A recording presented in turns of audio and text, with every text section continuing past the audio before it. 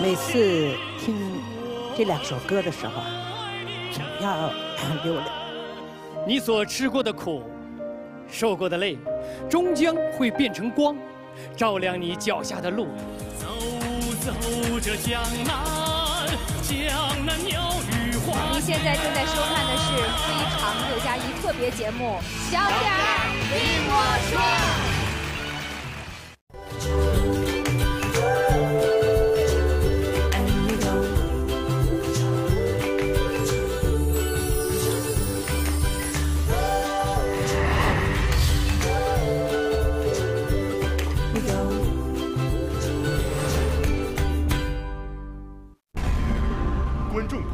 晚上好，这里是《非常六加一》特别节目《小不点儿听我说》，下面有请今晚的非常主讲人。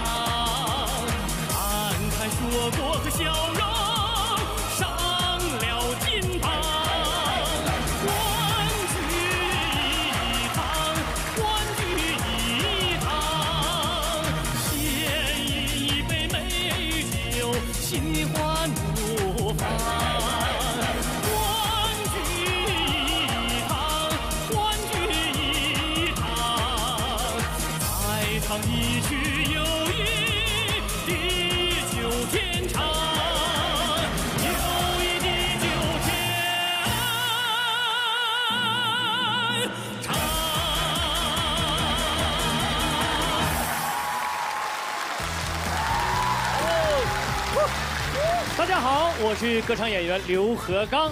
呃，国庆马上就要到了，在这里呢，我要祝愿台上的三位大朋友，还有三位小朋友，以及电视机前的朋友们，国庆快乐，幸福安康。谢谢。接下来呢，我给大家介绍今天的主持人，跟我们现场的非常聆听团。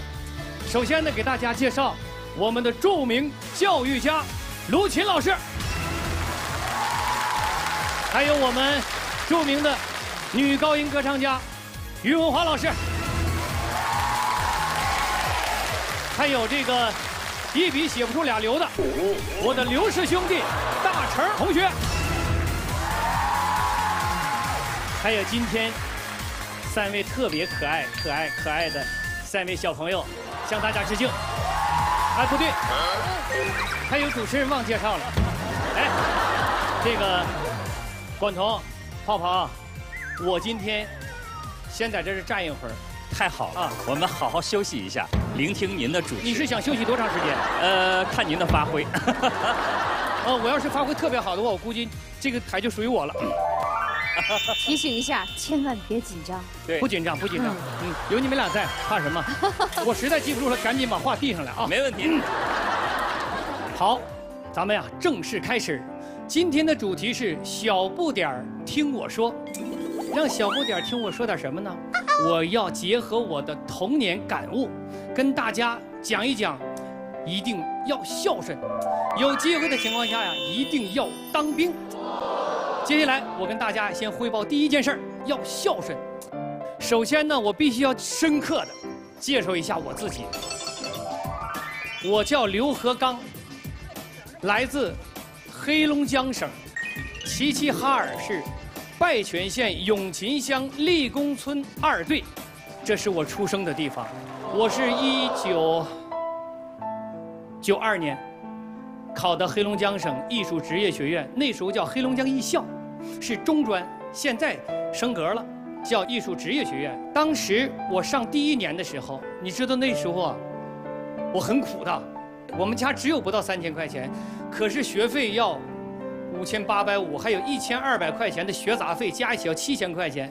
我给你孩子们，我给你们举个例子，那时候的七千块钱是个什么概念？我妈妈种六十亩地，最惨的一年挣了三百六十五块钱，三百六十五天挣三百六十五块钱，这是最惨的一年。平时也就千八百块钱呢。我还有两个姐姐，我大姐上学，我二姐上学，我也要上学，这钱去哪儿弄？就去借，五块、十块、二十、三十、五十、一百，最多的，我爸爸的一个好朋友给凑了五百块钱，跟我爸说：“大哥，十月份呢得还给我。为什么？因为我儿子要订婚，那时候订婚五百块钱，所以，我拿着这个钱到了艺校去上学。我第一个暑假回家，我去地头看我爸，我爸的那个手，我爸的右手挂在挂着一个绷带，然后我说爸，你手怎么了？他说没事，儿子，我手就是那个掉了一层皮儿。我说我看看，哎呀，不用看，你看它干嘛？我说我看看，我啪一把拽过来，我爸的这个手指头，小手指头就已经没有了。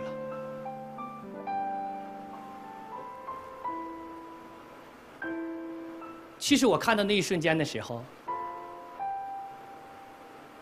突然间觉得自己好像真的对不起我的爸爸、我的妈妈。如果我要不上学的话，我那个时候已经是一个非常成熟的劳动力了。在农村是这样的，叫，对，这张照片后边那是我们家，我出生的地方，这个是应该是三四年前吧，我陪着我爸回老家照的相，在门口。这叫福不双至，祸不单行。在我艺校第四年的时候，就跟演电影一样。当我放假回家走在地头上的时候，看见爸爸的这个手又挂在这儿，我就在想，肯定不是。但事实就是这样，我爸爸的这个手指头又掉了。在我上艺校四年当中，爸爸用两个小手指换来了我艺校的生活。所以，在我唱的那首歌《父亲》当中，有一首有一句话叫“抚摸你的双手，我摸到了艰辛”，是因为我爸爸的双手改变了我的命运。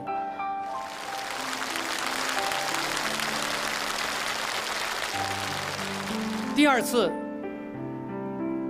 爸爸手指头掉的时候，我说真话，那时候我已经十九岁了。其实我心里很难受，我很想哭。我就觉得我是不是这个学不应该上？意义在哪里？为什么要上？人家不说养儿为防老吗？那养的这个儿防的是什么？腰也断了，手指头也折了，防的到底是什么？我说爸，我说我长大了。上次你掉手指头的时候，我是趴在你肩头哭的。我说爸，今天我不哭了。你能不能趴在我肩头上，让我看一次你怎么哭的？农村的老头啊，他不好意思，你知道吗？他真的不好意思。我上去一把把我爸抱在怀里。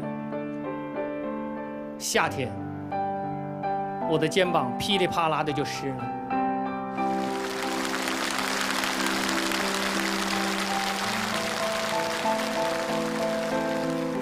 是这样的过往，给的我不只是人生曾经的经历，更给了我今天财富。作为一名农村长大的孩子，经历了二十二年的军旅生涯，经历了二十年的党团生活，到今天，说实话，没想过有今天。但是今天，却走上了这么一个神圣的舞台，跟这么多的小朋友、大朋友分享我的故事。此时此刻，我也想把《父亲》这首歌送给我们的父辈。你们用青春，用热血，甚至用生命，迎来了新中国，迎来了今天美好的时代。我们愿意更好的努力。我也希望所有的小朋友好好学习，听老师的话，将来为我们的小家。为我们的国家添砖加瓦，因为你们是明天的主人。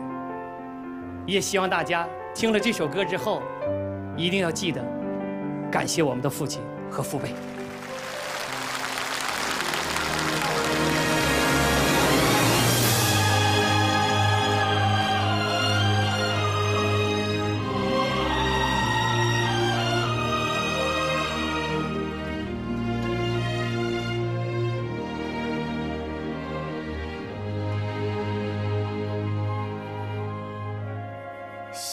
想想你的背影，我感受了坚韧；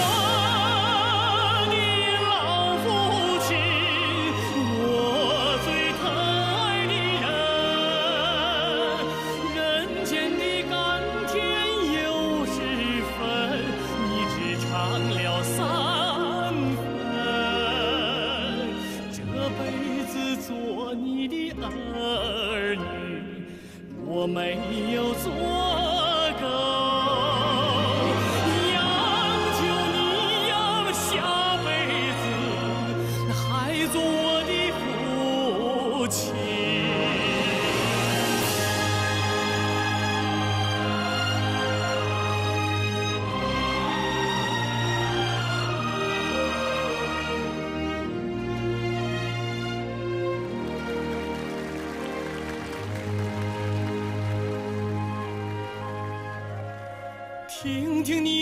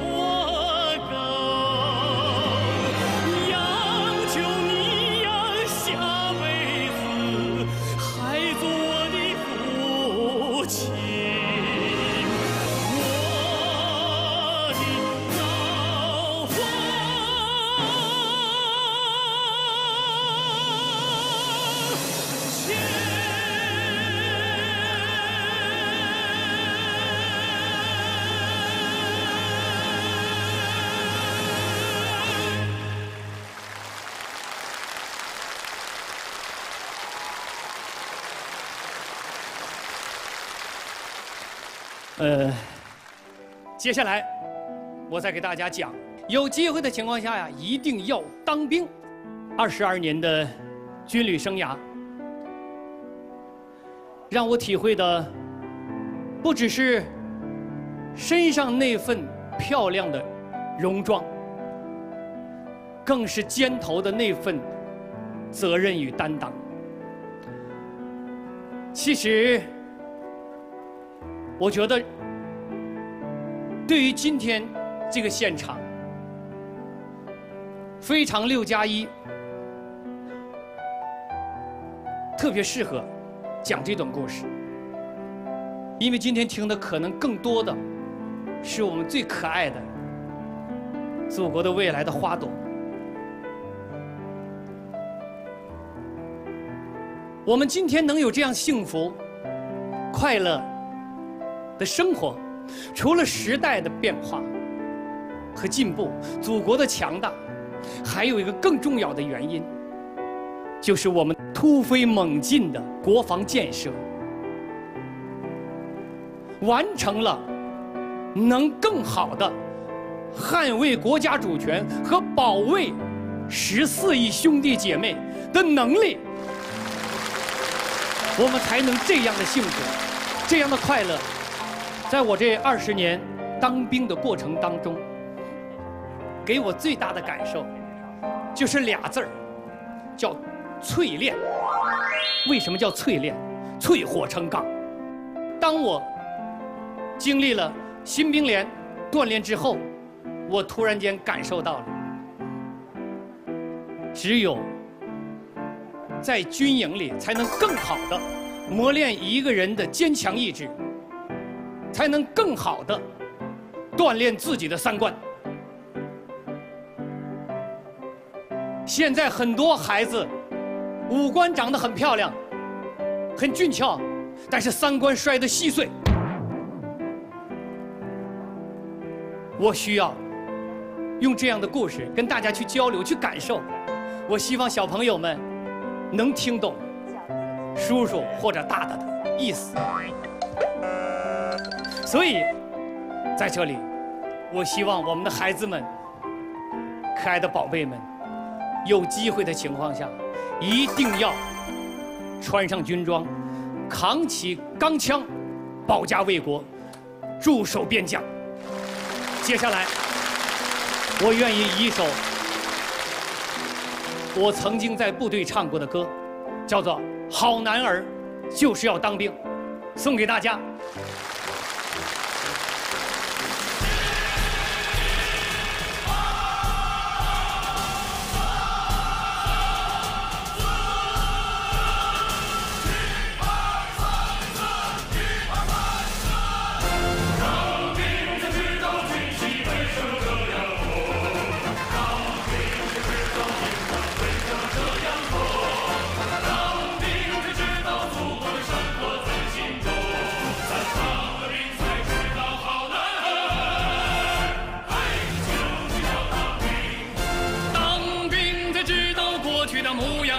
放松，当兵才知道自己的骨头硬不硬，当兵才知道什么是孬种和英雄，当兵才知道千金买不到战友情，当兵才知道军旗为什么这样红，当兵才知道肩章为什么这样重，祖国的山河在心中。当兵才知道军人热血铸忠诚，山林我是那生风虎，大海我是那骄浪龙，长空我是那穿云鹰，咱当了兵才知道好男儿，嘿就是要当兵。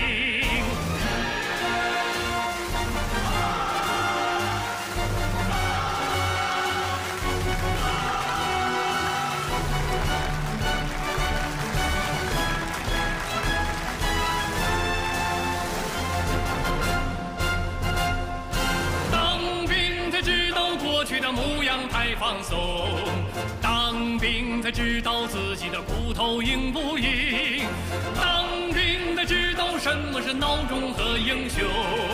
当兵才知道千金买不到战友情，当兵才知道军旗为什么这样红，当兵才知道肩章为什么这样重，当国的山河在心中，当兵才知道军人热血铸忠诚。山林我是那生风虎，大海我是那蛟浪龙，长空我是那穿云翼。咱当了兵才知道好男儿，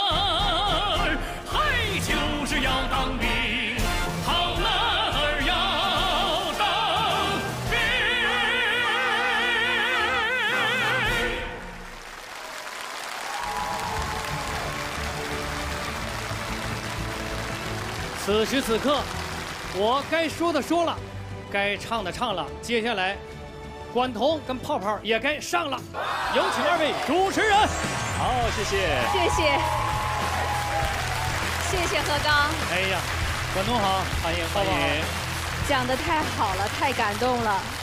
亲爱的观众朋友，您现在正在收看的是《非常六加一》特别节目。小不点儿听我说，本节目由含有三十六种丰富营养、营养更全面的君乐宝小小鲁番儿童奶粉独家冠名播出。哎，刚才听了您的讲述啊，其实也为我答疑解惑了。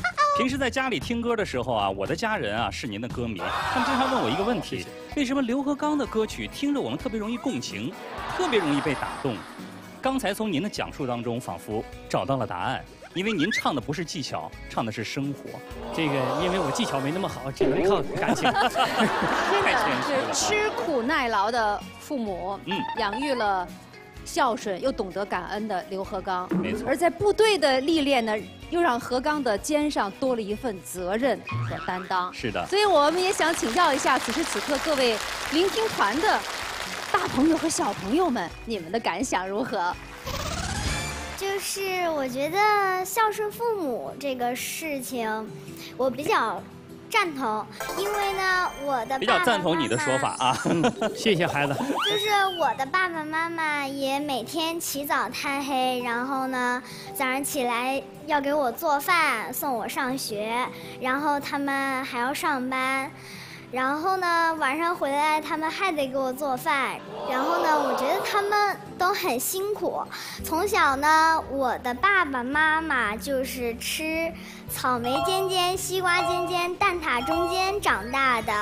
现在呢，他们不吃这些了，他们把这些让给了我们，他们却吃草莓屁屁、西瓜底儿底儿，还有蛋挞皮皮。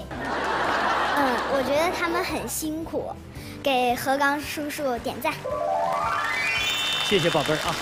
哎，那我来问问你，你有没有做过什么你觉得是孝顺父母的事情呢？我可以让他们开心。嗯。有什么方法？就是什么呢？比如说他们现在情绪不佳，我觉得可以跟他们说一些我就是很多笑话，讲笑话，就是可以给他们带来快乐。是我们家里一个小活宝。几岁了？我九岁，九岁，跟我儿子同岁。特别爱听何刚唱歌，每次都会被你的家国情怀感动，特别是听你那个父亲和拉住妈妈的手。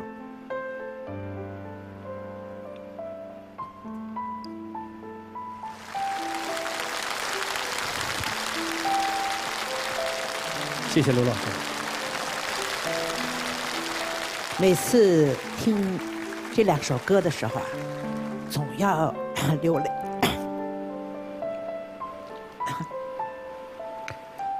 我我就在想，这里一定有故事啊，要不然不会唱的这么动人。所以今天呢，听了何刚的故事，我就知道了，做一个儿子，只有理解了父母的辛苦，才能写出这么动人的歌词。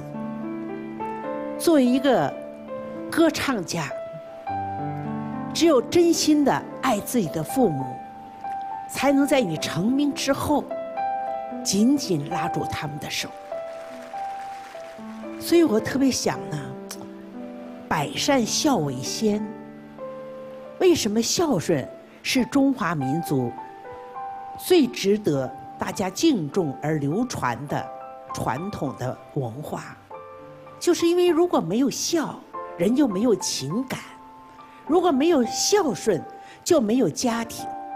所以我特别感谢你啊，也感谢你的父母培养了这样有情感的儿子，也感谢这个舞台培养了一个人民的歌唱家。所以我觉得，从你的故事中，我真的觉得要把孝敬传达下去，让所有的人把自己对国、对家的爱都表达出来。谢谢你。谢谢卢老师。谢谢卢老师。所以说这这颗种子真的是吸收了自己黑土地的那个养分哈，茁壮成长是舞台上闪亮的星。但是从您刚才的讲述当中，我们也知道，其实您从小在当时的省艺校学习的并不是声乐，不是，地方戏曲二人转。嗯呐，嗯，二人转，但他后来他怎么就没有继续走二人转这条艺术道路呢？对呀、哎呀，这里故事很多呀。捡主要的说呃先提炼一个最重要的。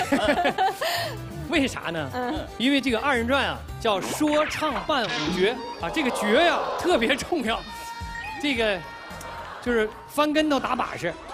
我们同学呀、小翻啪啪啪啪啪啪，十五个、二十个，最多能干到三十。我啪啪啪啪啪啪，五个就趴下了。然后，因为你知道，那时候一直在干活，啊，我就因为这个，在。一九九四年的年初，啪嚓一下子就摔那儿了。我十七岁腰间盘突出到今天，就因为这个事儿，因为绝没有了。如果二人转没有绝，你是活不下去的，特别是男生根本把搞不了了，没办法。我自己啊，开始改唱歌。身段我们现在可能不太好展现，但是唱段没有问题嘛，对不对？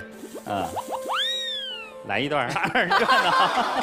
再给大家来一段包公赔情。包面长亭把我送，亭外传来喊冤声。高的吞没在两款是高的仗势胡乱行啊，铁证如山难抵赖。包面化工全认成啊，无奈给他上了榜，三弟怎能不心疼？从早晨绑到天过午，没有一人来讲情啊。当头要是有个乌鸦叫，也算冤家救命行。他不是没人把情讲，他作恶多端法不容啊。无奈炸了小包面，嫂嫂你不理民情，连死情啊，我的老嫂子。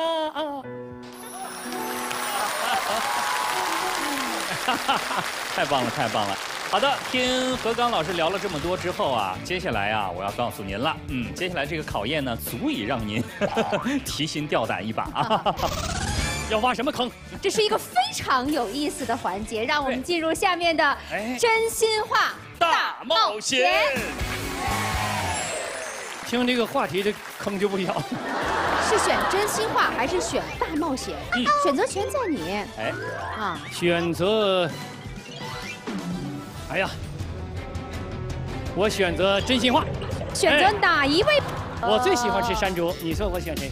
哎呀，选择小山竹小山猪是吧？哎，好，小朋友出题，何刚叔叔，我在网上看着一段视频，嗯，你家儿子和闺女在卖废品，是真的还是假的？咱们先看看小山竹你说的这段视频好不好？好吗？好来，儿子闺女，你俩干嘛去？我俩卖垃圾去，垃圾车上都有什么垃圾呀、比如纸盒子呀、废的啊玩具啊都有。呃，你为啥不让妹妹下来跟你一块拉呢？我怕妹妹太累了，刚才啊跟我拉的时候，妹妹你吃力，我看着。啊，你为什么要卖垃圾呢？啊，这是因为第一，就是学会过日子，勤俭节约；第二，就是夏天如果天太热，嗯不自然；第三，垃圾搁这儿太多会显得更乱差。哎呦，儿子真可以。闺女呢？引起臭味儿。哎，是的，闺女。对，儿子，啊，怎么？卖完了这个垃圾之后，这个钱准备做什么？这个钱，第一要买学习用品，好好学习。哦，第二，就是，嗯，怎么说呢？就是捐献给贫困山区还有贫困地区的小朋友们哎。呦，儿子可以，闺女呢？I don't know。你不知道啊？哎呀，哎，我发现你家儿子挺擅长总结呀，动不动就是第一、第二、第三。对，条理性很强，而且 三观非常正。这个答案听着是吧？我们很欣慰啊。但是呢，孩子的问题当中，我可听出了一些这个蹊跷啊。哎对你有疑问啊，就是说这个视频您发布在网络上的，嗯嗯，他有一点点怀疑，嗯嗯，是真的还是有作秀的成分？作秀的成分肯定没有。你要说他天天干的也不太可能。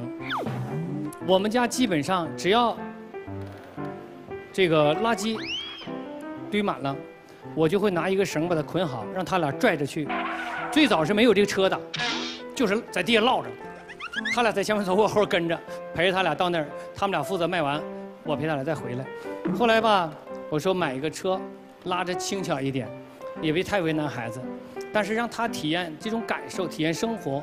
一种是锻炼他们俩，还有一个更重要的，要让他们从小知道尊重每一个人，不要因为穿着西服革履的，他就是真正他就是绝对的好人，也不能因为他穿的破衣啰嗦的，他就不是好人。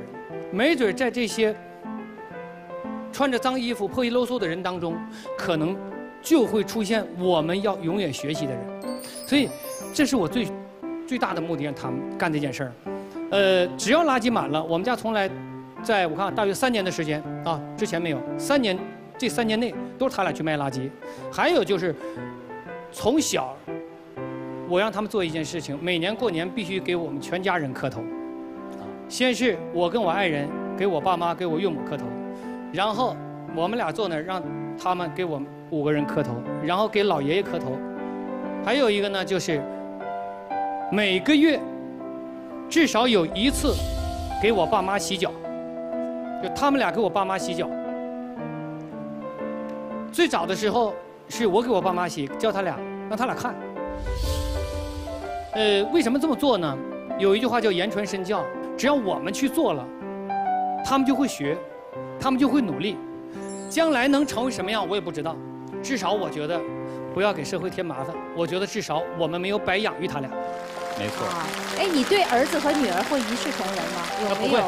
我觉得不会啊。实事求是。从刚才的视频上已经可见一斑，嗯嗯，一位在前边儿这个费力的拉着，那边还给增加负重啊，女儿是坐在上边的，那个那我不骗你，那可不是我让上去的，啊那绝对是哥哥。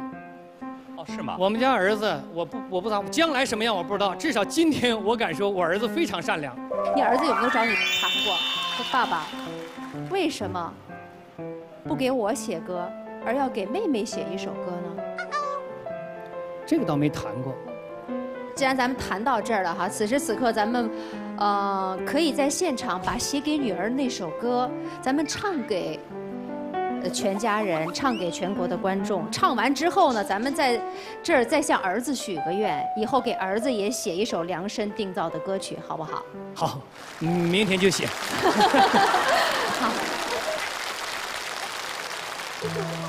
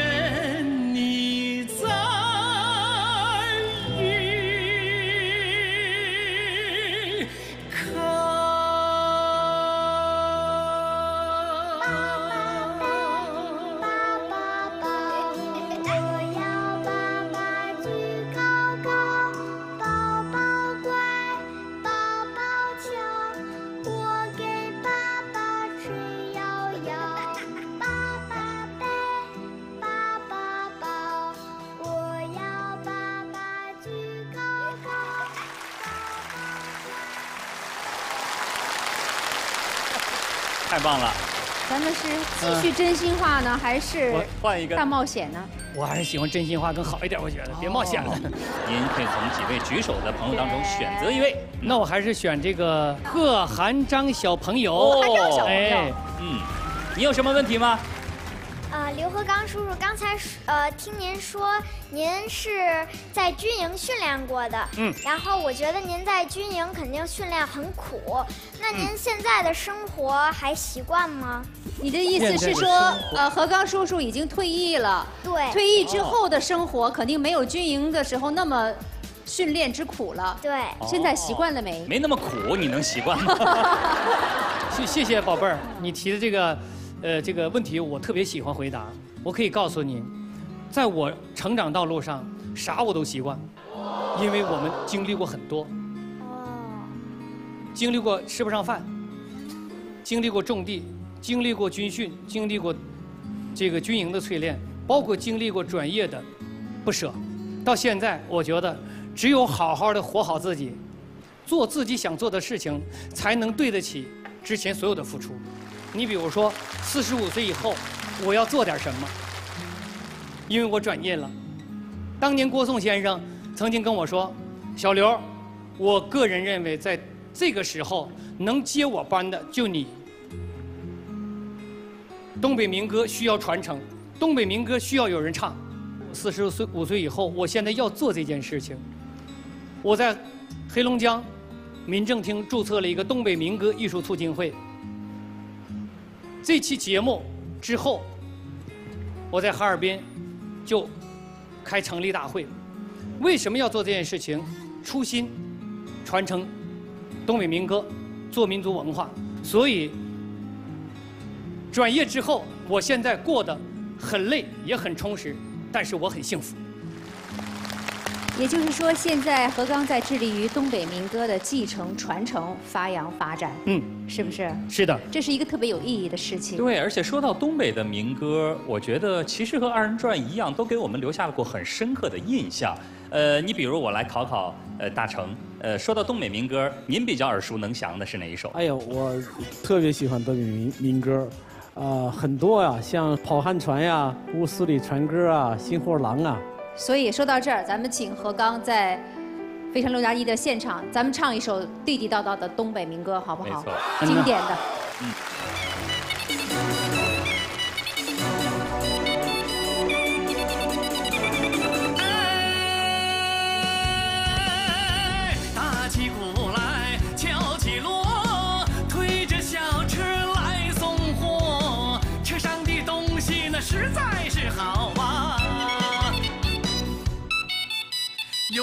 学习的笔记本、钢笔、铅笔、文具盒，姑娘喜欢的小花布，小伙扎的线围脖，穿那个球鞋跑得快，打球赛跑不怕磨，秋衣秋裤号头多，又可身来又暖和，小孩用的呀，吃奶的嘴儿。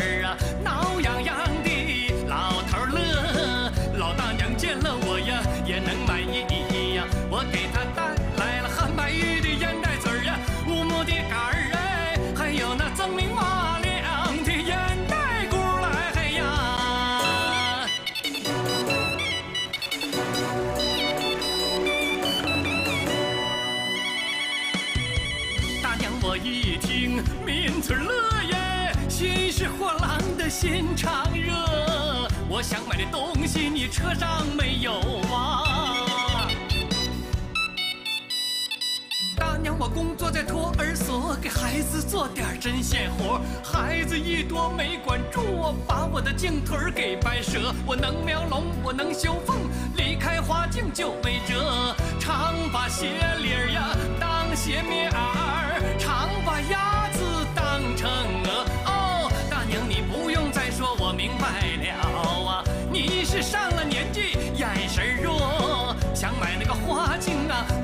不费事儿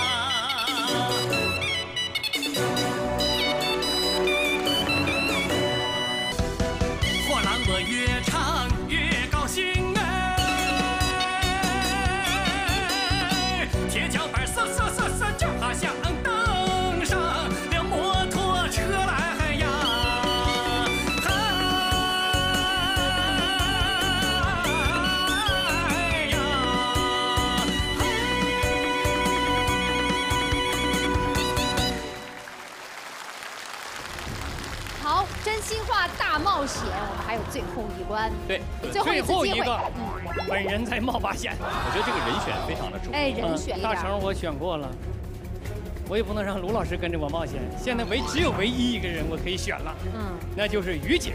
我们觉得，你除了唱歌以外，是不是可以给我们展示一下你其他的艺术类？我会吹唢呐，真的假的？我这啊，还有呃那个笛子，还有扬琴，还有钢琴，我都不会。你会跳舞吗？这小山猪啊，我呢肯定是不会跳舞，但是呢，我最近啊，我还真练了一个。你知道为什么吗？嗯，在疫情期间，我曾经长到了一百六十一斤，但是我通过这个舞种，我竟然跳回了一百三十九。你是说通过跳这个跳舞叫夜步舞，也有人管它叫鬼步舞。啊，你是说现在你会这个是吗？我我会一点。啊，会一点儿，嗯呐，那你我们就看那一点啊来着先给我们展示展示。啊，我来给先给大家展示一个最基本的步伐啊。这个不仅可以减肥，卢老师这还能治腰间盘突出呢。哦，嘿，哦，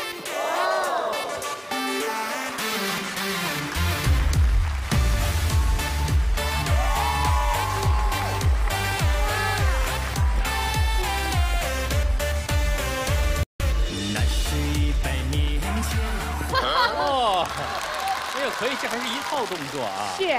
这还没跳全呢。好，恭喜刘和刚顺利的经过了我们真心话大冒险的考验，顺利过关。哎那也不容易吧？冒老大险了，我跟你说。好，平静一下，何刚。接下来，让我们一起见证这个特别有意义的环节，那就是小小鲁班小不点儿听我说，请看向前方。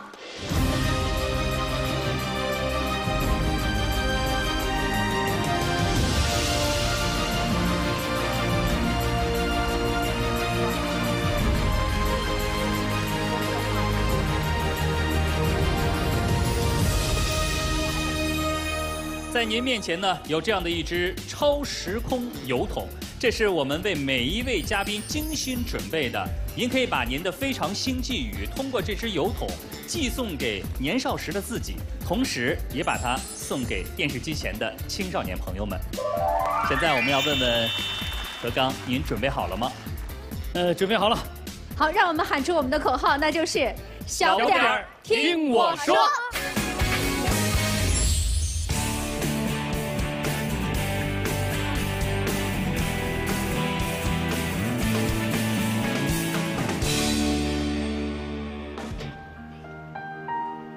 你所吃过的苦，受过的累，终将会变成光，照亮你脚下的路。送给当初的我，也送给今天的少年们。记住我今天说的话，更要记住，我们有幸遇到最美好的时代。为了祖国的强大，为了迎接美好的明天，我们一起撸起袖子，加油干！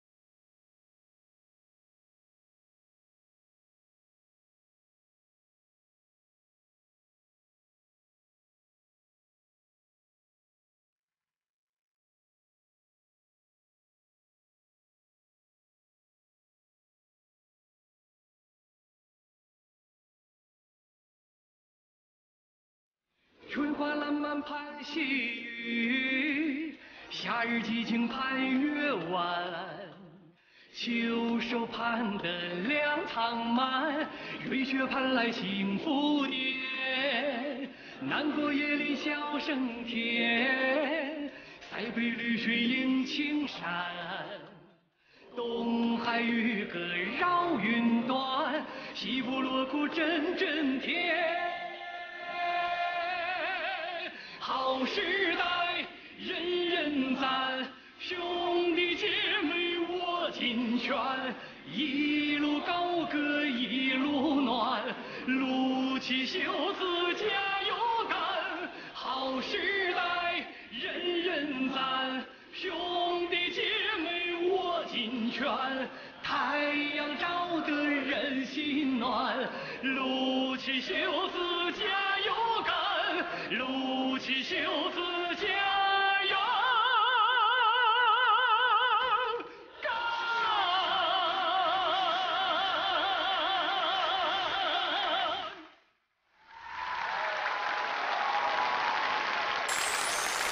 谢谢谢谢何刚，谢谢再一次谢谢刘何刚跟我们的精彩分享。本节目由含有三十六种丰富营养、营养更全面的君乐宝小小鲁班儿童奶粉独家冠名播出。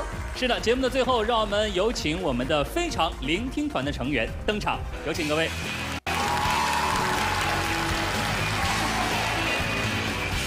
谢谢我们非常聆听团的大朋友们、小朋友们。好了，节目的最后，让我们再一次喊出口号吧，那就是小点儿听我说。感谢您的收看，下期节目再见。再见。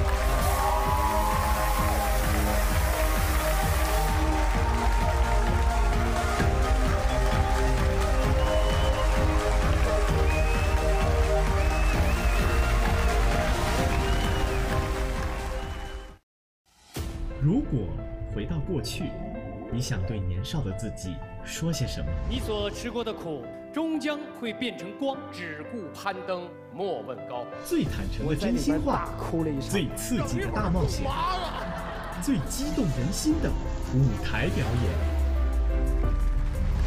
非常六加一特别节目《小不点儿听我说》，众多精彩等你来看。